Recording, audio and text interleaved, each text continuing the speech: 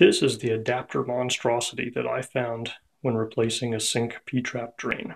We start with a one and a half to one and a quarter.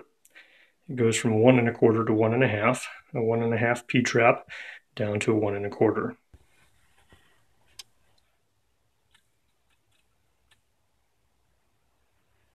One and a one quarter inch throughout.